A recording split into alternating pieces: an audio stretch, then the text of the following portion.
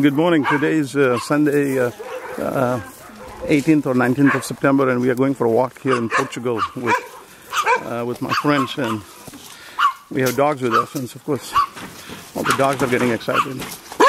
Yeah, I, heard you. I heard you.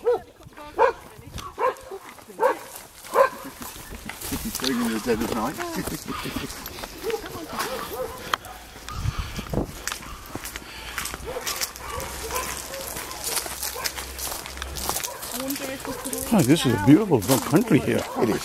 Well, I mean, first time for me in Portugal, boy. And Nice. Paul took me for a drive along to the beach and everything like Yes. this. Oh, unbelievably beautiful. Yeah. And it is so British. I mean, there is, there's a, in, in Santa Barbara, there's um, a big sort of British community, Yeah, uh, as well as Dutch. yeah. That's what Paul was saying. Yes. Um, but people from all walks of life Yeah, um, who have, you know, retired yeah, out here, and we've sort of semi-retired. yeah. Oh, so he's still working for BP, is he? No, no, no, no, no. She took um, the redundancy package. Oh, I see. She engineered it herself. Oh, of course. Uh, yeah. Being an HR. Being in HR.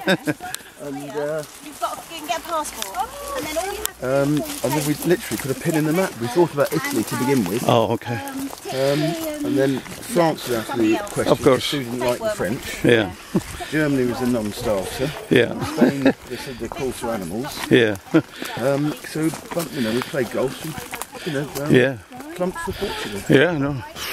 I mean, Um, without being funny, yeah, never look back. yeah. Well, you're not going to get. You're not going to get through that, are you? We need to go over there. Yeah, I know, but that's over a hill.